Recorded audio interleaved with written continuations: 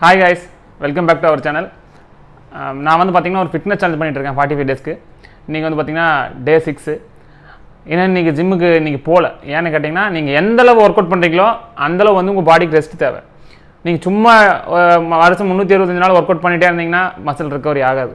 So அதனால் என்ன தெரிஞ்சுக்கணும்னா டெய்லி நல்ல தூக்கம் நல்ல ரெஸ்ட் வேணும். ஸோ வந்து இப்போ ஒரு அஞ்சு நாள் ஜிம்முக்கு போனீங்கன்னா ஒரு நாள் ரெஸ்ட் எடுத்துட்டு அடுத்த நாள் போகலாம். அது உங்களோட கமிட்மெண்ட்டை பொறுத்துட்டு. இப்போ டூ டேஸ் போயிட்டு பின்ன ஒரு நாள் ரெஸ்ட் எடுத்துட்டு பின்ன ஒரு த்ரீ டேஸ் போயிட்டு ஒரு நாள் ரெஸ்ட் எடுத்தாலும் எடுக்கலாம். அது உங்கள் இஷ்டம். நான் பார்த்தீங்கன்னா வீக்லி ஒன் டே தான் ரெஸ்ட் எடுப்பேன்.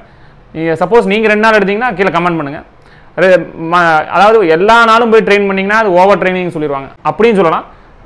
ஒரே மசில் வந்து பார்த்தீங்கன்னா இன்றைக்கும் பைசப் பண்ணுவீங்க நாளைக்கும் பைசப் பண்ணுவீங்க நாளானிக்கும் பைசப் பண்ணுவீங்கன்னா அப்படி பைசப்பே பண்ணிட்டு இருந்தீங்கன்னா மசில் ரெக்கவரி ஆகாது. ஒரு ஒரு மசிலுக்கும் வந்து பார்த்தீங்கன்னா இப்போ இன்றைக்கி செஸ்ட் ஒர்க் அவுட் பண்ணால் அடுத்து ஃபார்ட்டி எயிட் ஹவர் ரெஸ்ட் கொடுக்கணும் அதுக்கு. மசில் ரெக்கவரி ஆகும். நம்ம சாப்பிட்ற ப்ரோட்டீன் போயிட்டு அந்த பிரேக்கான மசிலை வந்து கொஞ்சம் கொஞ்சமாக ரிப்பேர் பண்ணுறதுக்கு டைம் கொடுக்கணும். அதாவது ஒரு ஃபார்ட்டி எயிட் ஹவராக டைம் கொடுக்கணும் அந்த மாதிரி. அதே மாதிரி தான் தூக்கம் கம்பல்சரி வந்து பார்த்திங்கன்னா ஒரு செவன் டு எயிட் ஹவர் தூங்கணும். தூங்கினா மட்டும்தான் மசில் ரெக்கவரி ஆகும்.